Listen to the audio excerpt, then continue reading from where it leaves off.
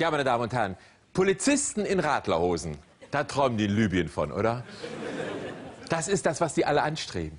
Die wollen doch alle so leben wie wir. Und jetzt haben sie sich erhoben in Nordafrika. Ist das nicht großartig? Ist das nicht ein schönes Gefühl, wenn die Menschen zur Demokratie aufbrechen? Die Diktatoren werden gestürzt, einer nach dem anderen. Ja, und äh, okay, in der Schweiz wird das Geld eingefroren. Man konserviert es, falls wir noch mal zurückkommen. Aber die Diktatoren sind weg und die Menschen werden befreit, sie werden nicht länger drangsaliert, sie werden nicht mehr eingesperrt. Und wer weiß besser als wir Deutschen, wie schön das ist, wenn Mauern fallen und Menschen zu uns kommen können.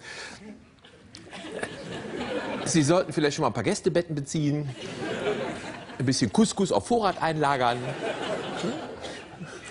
Ja, die Freiheit ist was Wunderbares, also die eigene Freiheit. Äh, die Freiheit der anderen kann schon mal ein bisschen lästig werden. Sagen wir es mal so.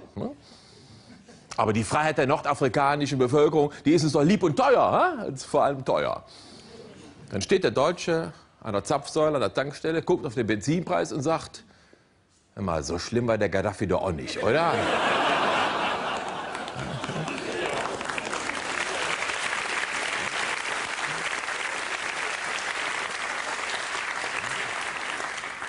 Das sieht der Berlusconi zum Beispiel auch so. Der Berlusconi hat mit dem Gaddafi sich wunderbar verstanden. Der Berlusconi, für den war der Gaddafi immer ein Hort der Stabilität. Ja? Und der Gaddafi hat wirklich immer nur die übers Wasser gelassen, die der Berlusconi auf seinen Bunga-Bunga-Partys auch wirklich haben wollte. Jetzt kommt da Jan und Mann, was weiß ich. Was ist, wenn die da de wirklich demokratisch beschließen, den Ölpreis ab sofort zu verdoppeln? Das könnten die ja demokratisch beschließen, um all die Schäden zu reparieren, die der Gaddafi in seinem letzten Gefechte eingerichtet hat. Wäre da alles möglich. Was machen wir dann? Dann gucken wir. Ne? Der Gaddafi war immer so ein netter. Das war so ein zuverlässiger Geschäftspartner. Ich weiß gar nicht, hat doch keiner mit rechnen können, dass der mal so durchdrehen würde, oder? Aber jetzt ist ja, jetzt macht die Europäische Union ja Schluss mit lustig. Jetzt ist ja Embargo, haben Sie gehört? Ist ja ab nächste Woche kriegt er keine Waffen mehr. Er soll erstmal die aufbrauchen, die wir bis jetzt geliefert haben. Das sind drastische Maßnahmen, meine Damen und Herren. Ja, man muss da auch immer differenzieren.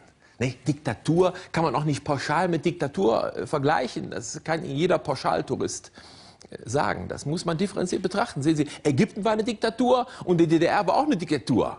Aber das eine Platten baut und das andere Pyramiden. Das sind doch Unterschiede. Sie, Honecker und Mubarak, beides furchtbare Despoten. Aber die Diktatur in Ägypten, die hatte für uns Deutsche immer einen gewissen Charme. El Sheikh. Bevor jetzt hinterher wieder Beschwerden kommen von Zuschauern äh, über die absurden Vergleiche, die ich hier ständig anstelle, möchte ich mal, jetzt mal ein Wort in eigener Sache sagen, meine Damen und Herren. Sie, es erreichen uns speziell nach Kabarettsendungen immer wieder Briefe von Leuten, die völlig sauer sind und sich beschweren und sagen, also es, sie wären jetzt wirklich leid, sie wollten nicht länger hinnehmen, dass von ihren GEZ-Gebühren sowas hier produziert wird. Das müsste wirklich nicht sein. Ja, und äh, man muss diese Menschen ernst nehmen, das tue ich auch und ich möchte diese Menschen jetzt mal offiziell beruhigen. Ich kann nicht für meine Kollegen sprechen, aber ich kann Ihnen versichern, ich lege großen Wert darauf, dass meine Honorare ausschließlich aus den Gebühren der Zuschauer und Zuschauerinnen bezahlt werden, die mich auch wirklich gut finden. Da bestehe ich.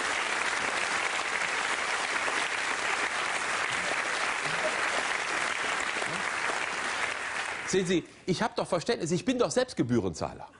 Ich möchte ja auch nicht, dass von meinen GEZ-Gebühren da irgendwelche Sendungen produziert werden, die ich über Gebühr schrecklich finde. Deshalb habe ich ja zum Beispiel, ich habe bei der GEZ verfügt, dass von meinen Gebühren keine Volksmusiksendungen bezahlt werden dürfen. Ja? Auch die Honorare von Reinhold Beckmann, Wolf-Dieter Poschmann und Peter Hane dürfen unter gar keinen Umständen ich wiederhole, unter gar keinen Umständen aus Geldern bezahlt werden, die ich zwangsweise an die GEZ überwiesen habe. Das habe ich der GEZ unmissverständlich klargemacht. Natürlich kann jetzt die GEZ ihre Gebühren nur in ihrem Sinne einsetzen, wenn die auch von ihren Vorlieben wissen. In der Gebührenverteilungsstelle. Da reicht ein formloses Schreiben. Hm? Das ist natürlich für die GEZ eine Menge Aufwand, die verschiedenen Gelder auf die einzelnen Töpfe zu verteilen, aus denen dann was nicht bezahlt werden darf. Aber das machen die da gerne, meine Damen und Herren. Genauso wie mein Finanzamt ja ohne mit der Wimper zu zucken akzeptiert hat, als ich erklärt habe, dass aus meinen Steuergeldern ab sofort keine Diäten von FDP-Politikern mehr bezahlt werden dürfen. Und vor allem keine Polizeieinsätze mehr bei Castor-Transporten und bei Polizeieinsätzen von Bayern München.